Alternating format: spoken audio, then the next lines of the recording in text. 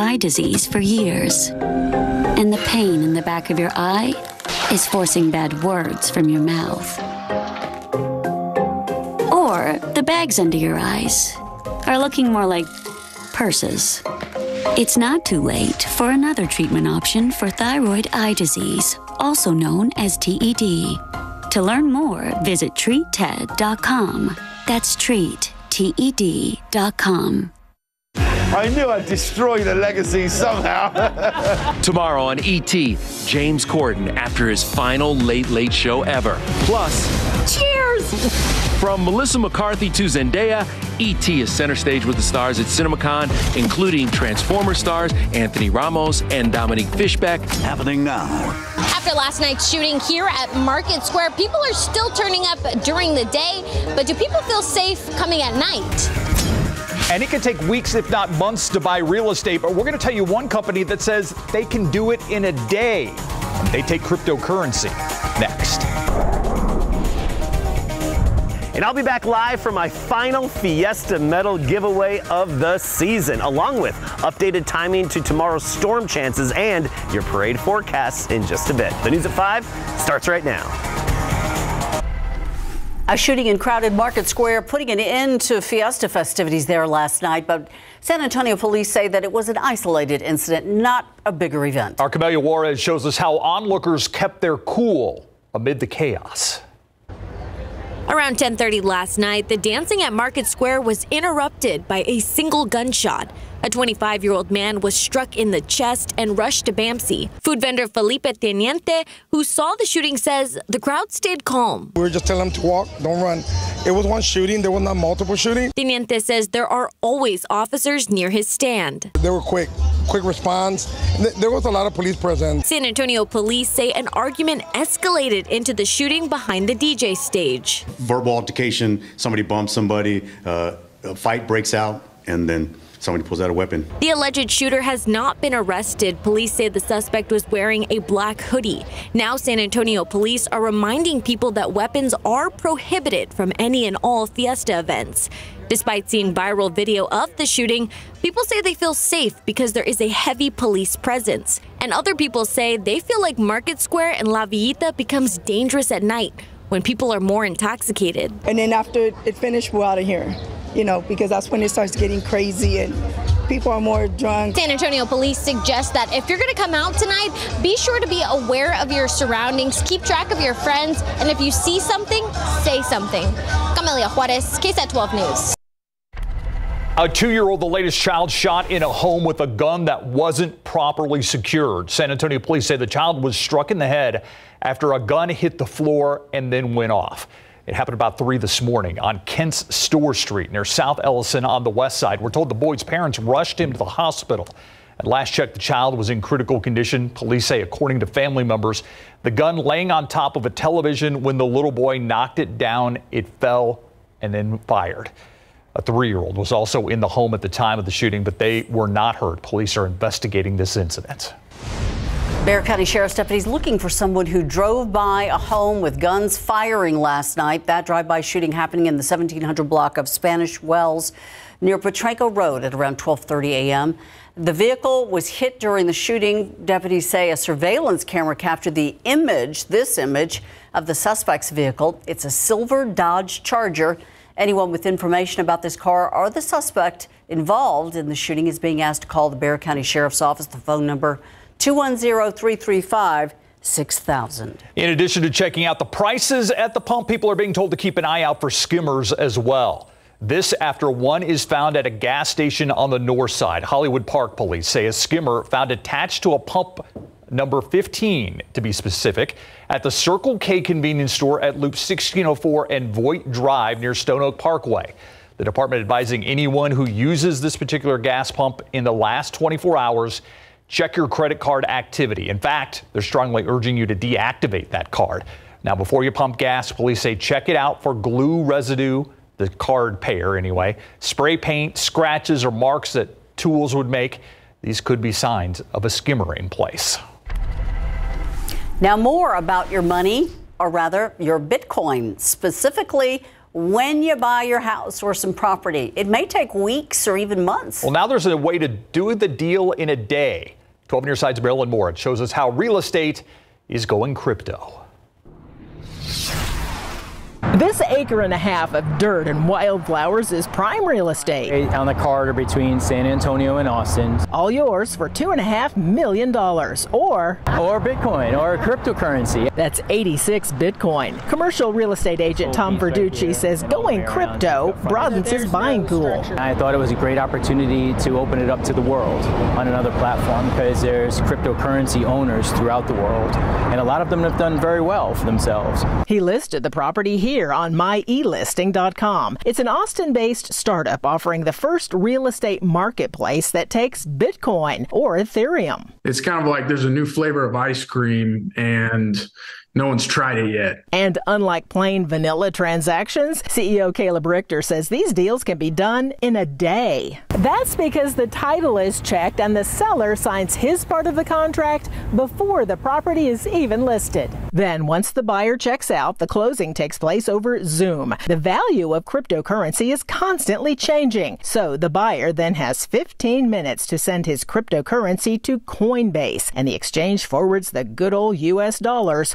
finishing the sale. The goal is someone in Japan or Lebanon or Australia can be on their couch and they're like, I want to buy a home in Miami right now. Boom, click. Richter sees cryptocurrency as a global language, but says there will still be a need for old fashioned bank loans. I don't think it will replace, but it's just giving another way to trade properties. Marilyn Moritz, KSAT 12 News. We are eight days into San Antonio's biggest party of 2023, Fiesta, in full swing. And so is Medal Mania. Yeah, the biggest accessory of the season. And there's one guy who got some of the most coveted medals this year, and he's handing them out. Adam Caskey at Legacy Park, where the line's been forming for more than an hour now. A great day for this giveaway, Adam. It's a fantastic day for the giveaway. We're at Legacy Park. Everybody's having fun.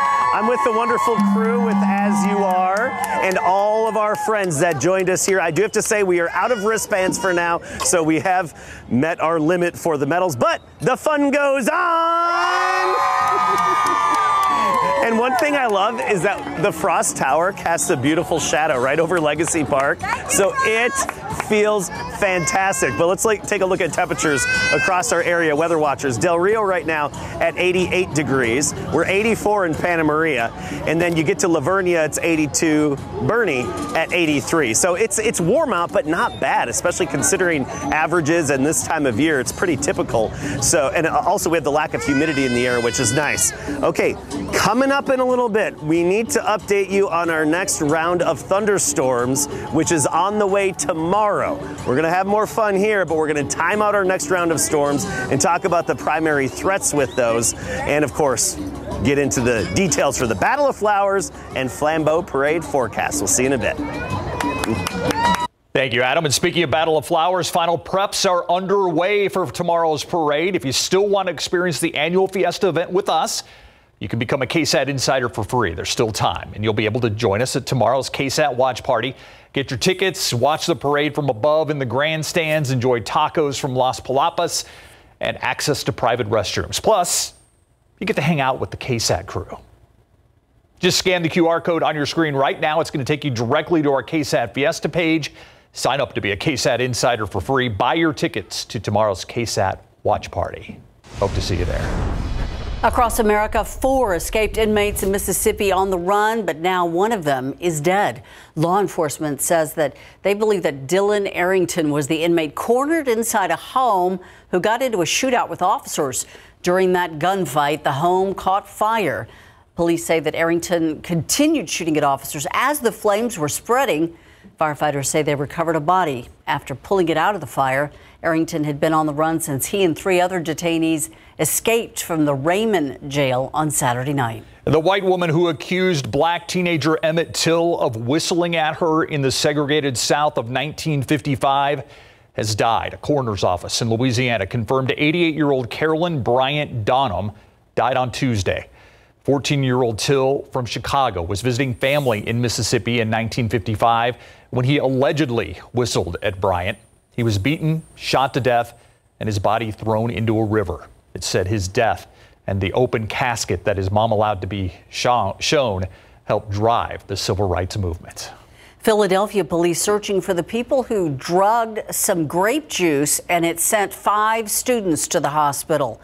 School district officials say that 11 teenage students drank this tainted grape juice that was laced with an opioid just before lunchtime yesterday in Philadelphia.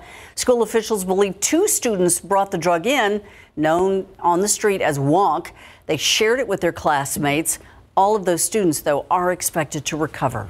The federal prosecutors in Massachusetts court today arguing that the accused leaker of classified documents is, quote, a serious flight risk, end quote. The Justice Department wants 21 year old Jack Teixeira, a member of Air National Guard, to remain behind bars until his trial starts. They're trying to persuade a judge that he could be targeted and recruited by foreign adversaries if released from custody. Attorneys for Teixeira asking the judge to release him on the least restrictive conditions and pushing back, saying the government's concerns don't have any basis. Teixeira accused of accessing classified documents and uploading them to social media. The fallout of the leak has led the Air Force to suspend two leaders from Teixeira's unit. Millions of people from Texas to Florida saw severe storms overnight that brought big hail, big winds, and a lot of rain. Meantime, central states are watching melting snow push the Mississippi River even further over its banks. Laura Aguirre with a string of severe weather hitting close to home this spring. We went through two hurricanes last year, and this does not compare to either one of them, maybe even both put together. Hail as large as softballs from the Florida panhandle over to southern Texas. Many are assessing damage from Wednesday's wind driven hail that battered property like cannonballs. We lost half of our, um, the top two are uh, Lanai and our gutters on both sides, and I have some windows broken in the back and hail damage to my car. One Florida middle school's courtyard buried in hail, looking more like a blanket of snow. This bull in Texas trying to escape the onslaught. His owner says he made it to safety. This is insane. The Storm Prediction Center is forecasting large hail, heavy rain, strong winds, and possible tornadoes for the same region of southern Texas through most of Florida into Thursday evening. In the Midwest, pumps along the rising Mississippi River are working around the clock. Melting snow runoff has pushed the river over its banks and into towns from Wisconsin to Minnesota for days. Like most small towns, we've uh, managed to do all of the sandbagging and so forth with volunteer help. All of the gates along Dubuque, Iowa's massive flood wall are now closed. The river is expected to crest there Saturday, while many other towns may not see relief until next week. We have weathered the storm. Um, you know, we'll wait for the water to recede and see what kind of damage we have. I'm Laura Aguirre reporting. Check out TransGuide right now. This is 410 at Fredericksburg. Pretty busy in both directions.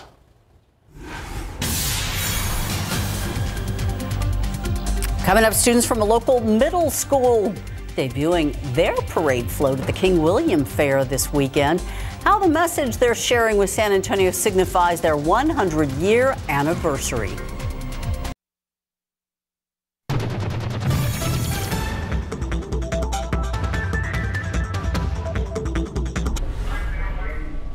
I'm Myra Arthur in the newsroom, and here's what's coming up today on the news at 6 o'clock. A dispute near a Northwest Side neighborhood ends with a military veteran facing felony charges. But as KSAT investigates discovered, that was only the beginning of this story. Body camera footage recorded by a sheriff's deputy revealed a long list of issues with the case, even before the man was taken to jail. We're going to have kidnapping. What? and we are going to have criminal mischief for the garage door. Okay? She was driving my vehicle. So that's what the charges are going to be. Tonight at 6, we examine the fallout and how it took months for prosecutors to finally reject these cases. Plus, more than two years after his brave battle with cancer, the legacy of Judson High School student and football player Bryce Wisdom lives on. What has now been named in his honor? And the Witte Museum is on a new mission to tell the lesser known histories that shaped Texas into what it is today. We'll take a look at the plans they have in tonight's History Untold. All that and more today on the news at 6. Thank you, Myra. Taking a live look outside right now, 83 degrees. Look at that blue sky. Perfect day. Perfect parade watching weather. Will it hang around for the actual parades? I think it'll hang around. Okay. Yeah, we need it to because students are putting their finishing touches on their entry in this year's King William Parade. Sixth, seventh, and eighth graders building and decorating this float and other floats with all kinds of elements, keeping in line with this year's theme, a story about Fiesta. Teachers helping the children with the parade project say that everyone should immediately see the kids' love for education. The float's going to be featured, uh, a blast from the past. Our current students, 6th through 8th grade, are building it um, with the theme of the story of Fiesta and how we have carried on the Fiesta traditions in our campus over all of these years. The school's float also celebrating 100 years for the school. The King William Parade is on Saturday. If you can't make it out there, KSAT's got you covered. We're going to be live streaming the excitement on KSAT.com and on KSAT Plus. It all begins at 9 a.m. And right now, yes, the weather is cooperating for tonight's many Fiesta events, especially for our Adam Caskey. Yeah, he's at Legacy Park near downtown. It's in downtown. For the last chance to get your hands on the thermometer Thursday weather medal, Adam is at the park live for the free medal giveaway. Adam.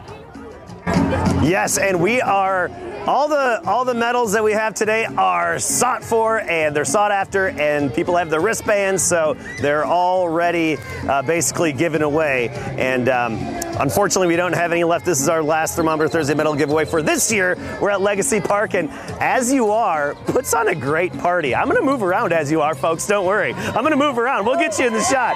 They put on such a now he moves that way. We put on such a such a great party. As you are is uh, pediatric autism evaluations and April's Autism Awareness Month. And of course, it's Fiesta as well. So we're putting them together and throwing a party to celebrate both. We've got our fun people. We've got some long lawn games there. We got the DJ rocking it in the back, and we even have a few uh, snacks here. This event goes till 7 o'clock. All right, let's take a look at temperatures and get into the forecast before we show you some more fun around here. Homemade thermometer, reading 82 degrees. Airport officially, 82 degrees. No coincidence if you ask me. We're up to 91 in Cotulla, but here's the key. Look at the dew points. Dew points are down into the 50s and 40s. That's why it feels so heavenly out here, especially underneath the shade of Frost Tower. It just perfectly shades Legacy Park here. All right, let's go to this evening's forecast full screen. Take this in. Beautiful this evening, just fine. A clear sky, temperatures falling through the 70s, then down into the 60s. And overall, nothing to really worry about or plan around this evening or tonight or even tomorrow morning. So let's talk about it all in general here, starting with tomorrow morning. Battle of Flowers Parade kicks off at 9.30. It's going to be in the 60s to start, 66 degrees at 9 a.m. And then by noon, we're up to 79. Some low clouds early, then turning really sunny into the afternoon. And really an increase in the humidity, you're going to notice that. Now, notice the end of the 12 hour forecast. Those storm chances start ramping up tomorrow late afternoon and early evening by 5 o'clock at 40%. But we get to 6 p.m. and those chances are up to 60%. By 8 p.m., 70%. We're expecting widespread numerous showers and thunderstorms and even potentially severe storms. So let's look at our future cast. This is one of our latest high resolution model runs. And first part of the day, just fine. 0% chance of rain through the early afternoon. You don't have to worry about anything for Battle of Flowers. It's tomorrow evening, outdoor events. If you have the tents set up, eh, you want to secure everything, break down the tents even, the ones that can blow away quickly. Nios is likely to get uh, get hit tomorrow evening by some thunderstorms. Notice that time frame, six o'clock, starting to blow into San Antonio.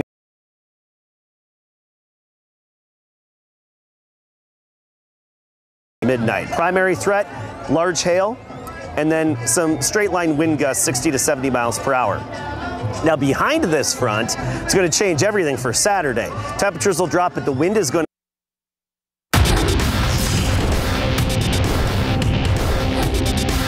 can't make him the general manager. We have one that's tenured.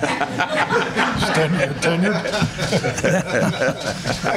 but but uh, if Will uh, can write those checks, I might consider it. Jerry Jones is talking about his unsung hero, Will McClay, in Big Board Sports. Pro football coverage, powered by Davis Law Firm. The 2023 NFL Draft is finally here, kicking off tonight with the first round in Kansas City. The Carolina Panthers will select first overall, and the Dallas Cowboys will follow them 25 spots later at 26. Mock drafts are all over the place, suggesting the boys will go with a tight end first, while others say running back or right guard. The general consensus, though, seems to be a tight end as they look for their very own Travis Kelce. When it comes to the NFL Draft, we all see Jerry, Stephen, and Coach McCarthy sitting front and center, but the most important guy during the draft is Will McClay, the Cowboys Vice President of Player Personnel. I don't want anybody to know about Will. I'm teasing, but I'm not teasing. But he's very unique, and he has a he has great people skills, and I mean they work for Will and those scouts, and that's a management job with those scouts out on the road and I think we are up over 250,000 a player that we draft on scouting expenses. So Will's got a big job. Intrigue is overflowing the cup as to just what the te- Houston Texans plan to do with the second overall pick tonight. Will they draft the quarterback, go defense first, or trade out of the two spot? We just don't know. DeMeco Ryans was asked, does he feel pressure with all the excitement ahead of the draft now that he's the head coach? I don't feel any pressure right? Because I know I'm surrounding myself with the right people, and I know we can get the job done, right? And I know Houston is hungry for a winner. Trust me, I, am just as hungry, you know, to create a winner here for this organization, for this city. You know, it, it means a lot to me and I want to be able to bring that to Houston. So it's it's no pressure. It's just it reminds me just continue to put your head down and go to work with the right purpose. NFL draft starts at 7 tonight with the first round right here in KSAT 12. And rounds 2 and 3 are tomorrow night at 6. We'll be right back after the break. Thanks so much for watching the News at 5 with us. World News is up next. We'll see you back here at 6 o'clock.